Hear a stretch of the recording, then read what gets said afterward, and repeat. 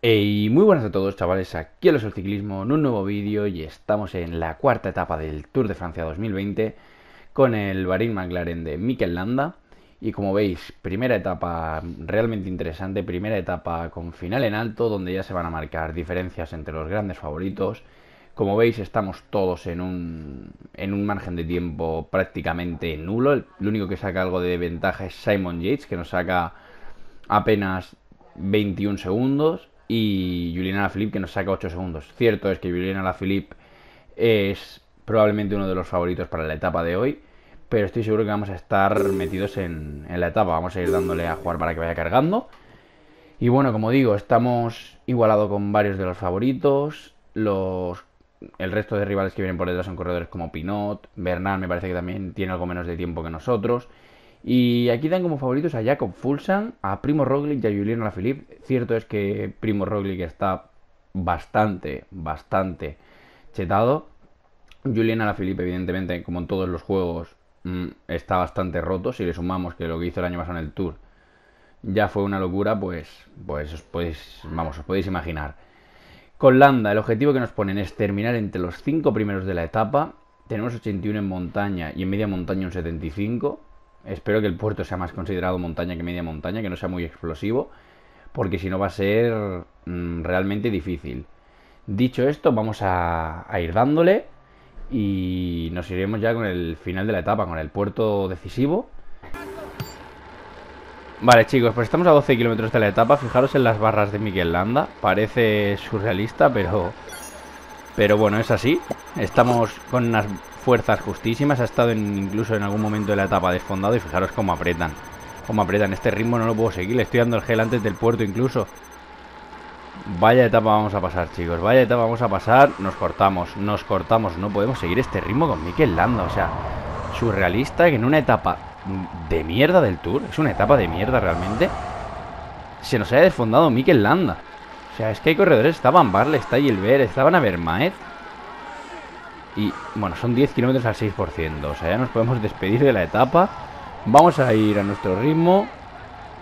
Y a ir recogiendo cadáveres. Evidentemente no vamos a hacer un top 5 de la etapa. No vamos a estar ni entre... Bueno, bueno, bueno, bueno. Y aquí a ritmo. Pasamos a Izaguirre. Vamos a empezar a cazar cadáveres, pero no vamos a poder con, con los favoritos. Nos van a caer dos o tres minutos probablemente. Ya a ver, porque no tenemos gel y vamos a tener que regularnos. Ahí cazamos a Gilbert, este se la van a ver Maet.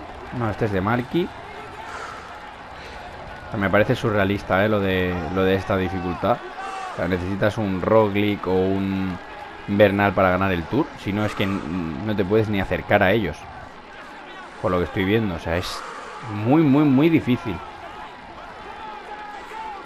evidentemente empezamos a cazar a corredores que no son nada peligrosos, pero fijaros ya, un minuto y quedan 7 kilómetros y aún no se han atacado. Vamos, vamos a sufrir, eh.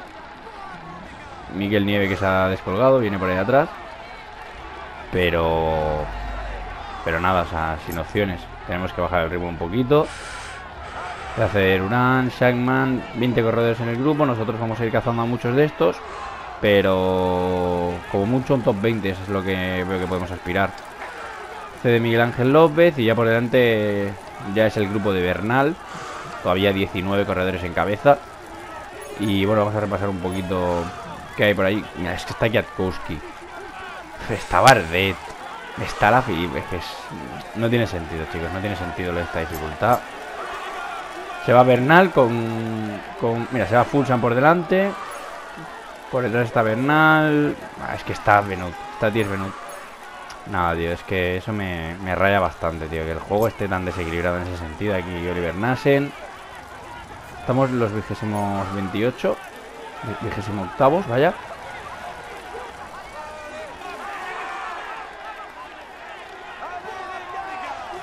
Nada, a ir poco a poco, a ritmo. 1.52 con cabeza de carrera. Con Alaphilippe. Alaphilippe en cabeza. Y ganará la etapa Alaphilippe. De verdad que es surrealista este juego, chicos.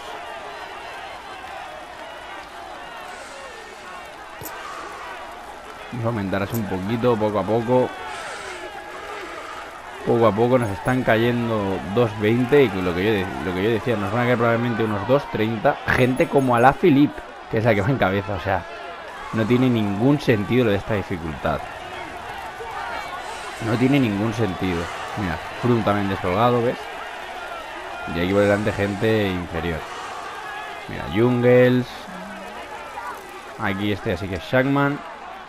Sí, vamos pillando cadáveres, pero nada, mira, Quintana totalmente fundido cuando tiene un 82 en montaña. Nibali a 1.15 y fue mi rival más duro o uno de los más duros en el, en el tour que disputé yo.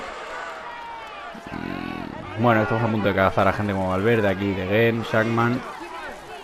Estamos recuperándonos poco a poco. Ya estamos en vigésimo tercera posición y por delante está Thomas, Bernal, Roglic y Alaphilippe. Fulsan descolgado cuando era uno de los machetados. Pinot también descolgado. Lo de Alaphilippe en este juego es, que es vergonzoso, de verdad. Mira, tres minutos y lo que nos queda. O sea, nos caen cuatro. Cuatro minutos. Cede Thomas y, y Alaphilippe va a aguantar con Roglic y Bernal. Los dos mejores corredores del juego y Alaphilippe. No, no tiene sentido. Vamos muy justitos, vamos muy, muy justitos. Nos están cayendo 3.20. Y sí, sí, 4 minutos van a ser. Es que fijaros el ritmo que tienen que llevar, que nos aumentan. Bueno, segundo que pasa, segundo que aumentan. 3.33, 34, 35, 36. Es, es una locura. Es una absoluta locura. Y gana la Filip la etapa. Bernal le meten tiempo a Roglic. No, no tiene ningún sentido, de verdad, chicos. Lo de este juego, o sea, lo de esta dificultad, mm, realmente vergonzoso. O sea, ahora vamos a intentar aumentar un poquito el ritmo. Y cuando estemos gastando barra roja, ahora empezaremos a gastar barra roja y empezamos a darle el gel.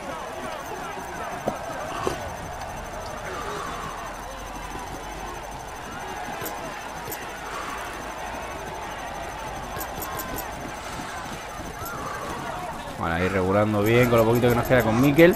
Te desfondes. Bueno, pues entramos en vigésimo segunda posición. Y realmente no hay por dónde cogerlo de hoy. O sea, no hay por dónde cogerlo. Me parece surrealista.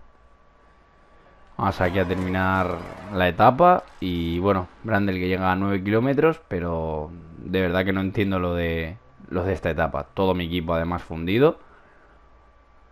Y a ver, a ver qué tal han, entrado el resto de favoritos, qué condición del día tenían, porque con Miguel Landa teníamos un día normal, o sea, teníamos la barra en medio, no teníamos la flecha ni para arriba ni para abajo, sino simplemente en medio.